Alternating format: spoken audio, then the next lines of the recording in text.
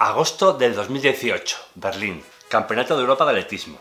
Final de los 1500 metros. Entre los participantes destacan tres hermanos noruegos de nombre impronunciable.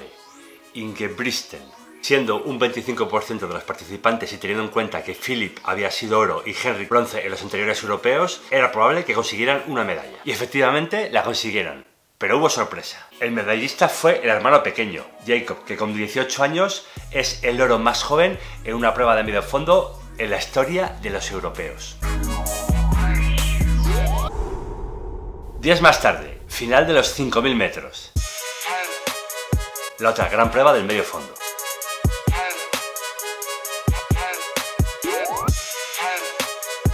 Y oro de nuevo, para joven Jacob. Plata para su hermano Henry. No sé tú, pero yo al ver esto me pregunto si estos hermanos se de una manera especial o simplemente es una cuestión de tener genes privilegiados. Si dedicas un poco de tiempo a investigar este asunto, vas a encontrar siempre estas dos palabras. Método noruego. Y si continúas investigando, verás que todos los récords noruegos, desde 800 metros hasta los 5000 metros, son igual o mejores que los de Estados Unidos, una gran potencia mundial, y con 60 veces más habitantes que el país escandinavo. Vale, los tres hermanos está claro que son muy buenos, pero hay más noruegos romper récords. Mira a este tío con más pinta de albañil que de trialeta. Es el noruego Christian Blumenfeld, Blue para los amigos, que ha sido ganador de la prueba más mítica del trialón, el Ironman de Hawái en el año 2021. Y vale, un Ironman es una prueba de gran fondo con duración cercana a las 8 horas, pero resulta que Christian Blue también es el actual campeón olímpico.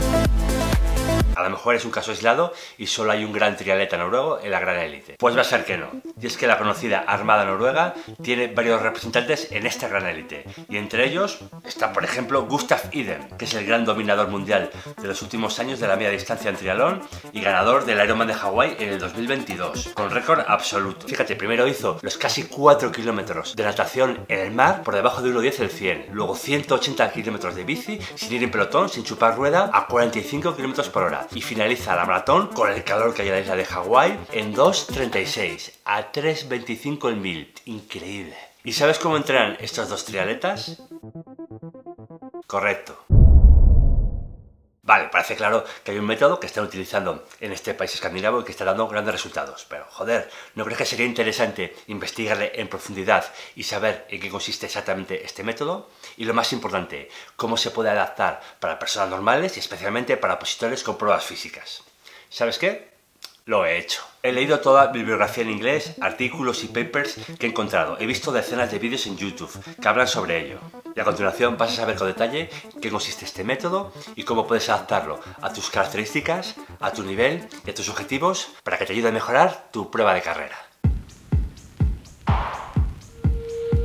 Hola, ¿qué tal? Soy Antonio Ruiz de físicas.com, la plataforma donde cientos de opositores están mejorando las pruebas físicas de su oposición. Desde el momento que te apuntes a la plataforma Físicas, vas a poder entrenar las pruebas físicas de tu oposición con los métodos de entrenamiento que mejores resultados están dando. Fácil de seguir, a un clic en tu móvil y sin dudas. Tienes el enlace para conocer mejor la plataforma en el primer comentario y en la descripción del vídeo. En el momento que comencé a investigar sobre el método noruego, encontré una gran idea que destacaba sobre todas las demás algo que suena extraordinariamente contraintuitivo, pero actualmente es el paradigma más de moda en el mundo del entrenamiento de carrera. La idea es que para correr más rápido hay que entrenar más despacio. Y ese cambio de paradigma parece que está influido en buena parte por el método noruego. Será así de fácil entrenar más despacio para luego correr más rápido. Yo la verdad que creo que cuando he mejorado es porque he hecho entrenamientos duros, con intensidades, con volúmenes y que me has impuesto un reto. ¿Estará haciendo bien los entrenos? A ver, cuando analizas un entrenamiento para producir mejoras o no, hay muchos conceptos que influyen y estos dos son obligatorios. Conceptos rarunos del entrenamiento. La teoría de la adaptación y el principio de sobrecarga. Si te fijas en este gráfico, cada entrenamiento es un estímulo que genera una situación de estrés para el cuerpo. En este primero, tras el estímulo se genera fatiga, pero gracias a la recuperación se producen adaptaciones y finalmente la ansiada mejora. Una sucesión de entrenamientos generan una sucesión de adaptaciones y la línea de forma sube, sube, sube. ¿Valdrá cualquier entrenamiento para mejorar?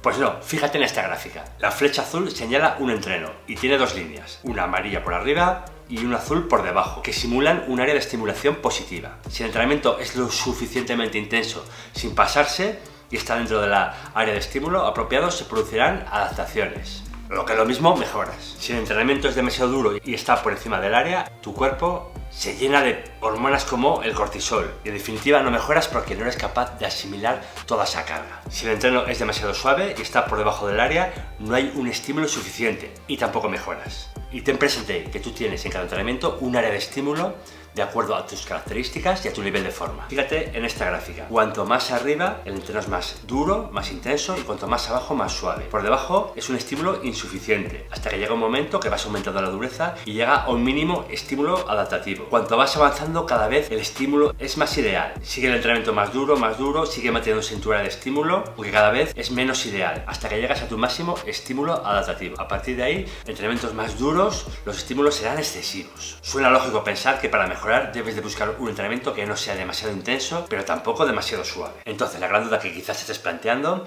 y que yo me planteo es si para mejorar tengo que bajar la intensidad, el ritmo de los entrenamientos, no me quedaré por debajo fuera del área de estímulo. ¿Hasta qué punto es verdad que el método noruego se basa principalmente en bajar el ritmo, la intensidad de los entrenamientos? ¿Hasta qué punto tiene lógica esta afirmación? Personalmente, este problema me llegó a obsesionar durante la investigación.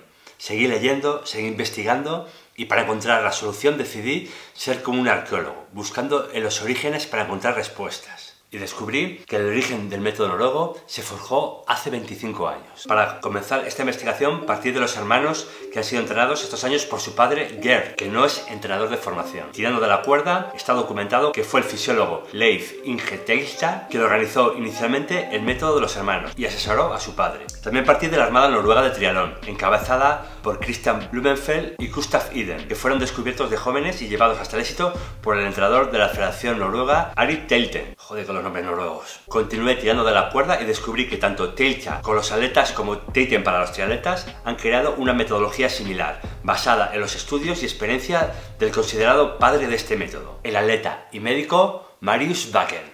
Historia de Marius Bakken.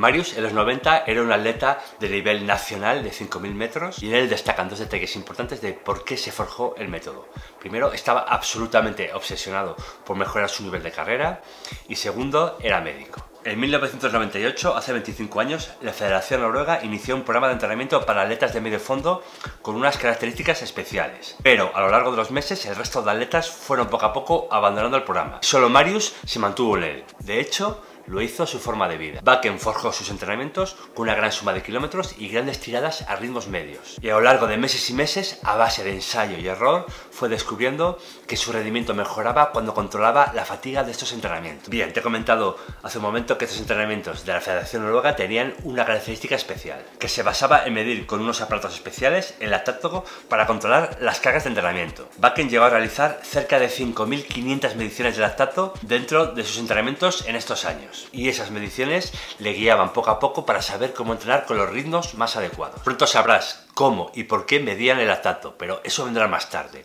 Atiende que esto que viene ahora es muy importante. El rendimiento de Bakken mejoró mucho estos años y llegó a ser un atleta de nivel internacional. En esos años de ensayo-error, entrenándose a él mismo y entrenando a otros atletas, llegó a cuatro grandes conclusiones que son la base del método que utiliza la Bristen o utiliza los triatletas noruegos. Y estas son las conclusiones. Redujo la velocidad y aumentó el volumen semanal de los rodajes largos. Redujo la velocidad y aumentó el volumen de las series, haciendo incluso sesiones dobles por la mañana y por la tarde de series, dos días claves a la semana. Entrenó con una relación entre el volumen de rodajes suaves del 70% y el volumen de series del 30% del total y realizaba un solo entrenamiento de alta intensidad a la semana. Vale, parece que es positivo controlar la velocidad tanto en los rodajes largos como en la serie. Pero ¿cuánto de despacio hay que ir en los rodajes largos? ¿Qué velocidad, qué número y qué distancia hay que hacer en las series? ¿Cómo es ese entrenamiento de alta intensidad que se hace una vez a la semana? ¿Cómo se distribuye este tinglau semanalmente? Y lo más importante, ¿cómo puedes adaptarlo tú a tu entrenamiento?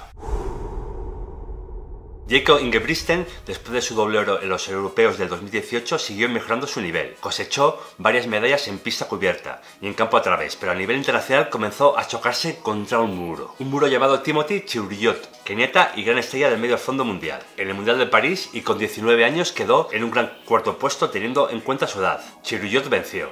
Pasaron los meses y todos los enfrentamientos entre los dos estrellas de medio fondo mundial acababan igual. Victoria para Timothy. Segundo Jacob, primero Churuyot.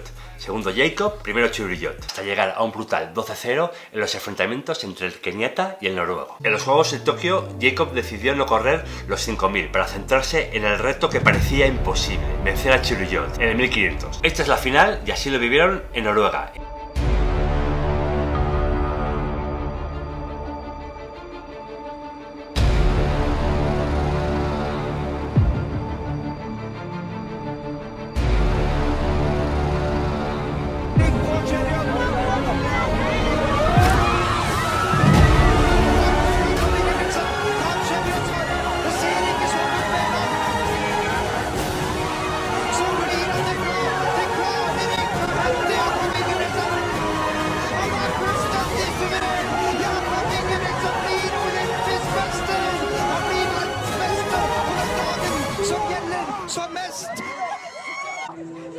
Campeón olímpico, récord olímpico y con 21 años. Vale, te he dejado muchas preguntas sobre el método y vas a conocer todas las respuestas. Pero ¿no crees que está quedando un poco teórico este vídeo? Mira, aparte de leer y releer una pila de papers de estudios, hay dos novedades en esta investigación. La primera es que estoy probando yo mismo este método desde hace dos meses. Lo estoy viviendo en mis carnes, con 4 o 5 entrenamientos semanales. Y lo estoy documentando todo. Pero no solo estoy probándolo yo. Mira, hace unas semanas hice este llamamiento a todos los usuarios de la plataforma físicas. Lo que pedía era si estaban preparando una prueba de resistencia, desde 800 metros hasta Kuznavet, si tenían interés por mejorarla, si les quedaban más de 5 meses para sus pruebas físicas, bueno, y algunos detalles más. Si estaban interesados me tenían que mandar un mensaje privado. La idea es que entrenasen durante 2 o 3 meses con la adaptación del método noruego que he creado para opositores. Mucha gente estaba interesada en entrar, pero muchos de ellos tenían sus pruebas físicas más cercanas y otros de ellos no cumplían todos los requisitos que pedía. Definitivamente aceptaron 13 usuarios que cumplían todos los requisitos y comenzaron a entrenar con esta adaptación del método. Y junto a mí hemos creado un grupo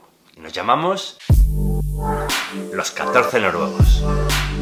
Dentro hay opositores a bomberos, a Policía Nacional y a Policía Municipal, con pruebas como 1000 metros, 2000 metros o Kursnave. También estoy documentando sus vivencias, si están mejorando o no con este método. Si sigues viendo esta serie, sabrás cómo es esta adaptación para opositores y si los 14 noruegos estamos mejorando con ella o no. Si sigues viendo esta serie, conocerás las grandes claves de este método. Si sigues viendo esta serie, sabrás cómo adaptar esta metodología a tu objetivo y características. Haz clic aquí para ver el próximo vídeo cuando salga, que será enseguida. Y para no perdértelo, suscríbete al canal y dale a la campanita.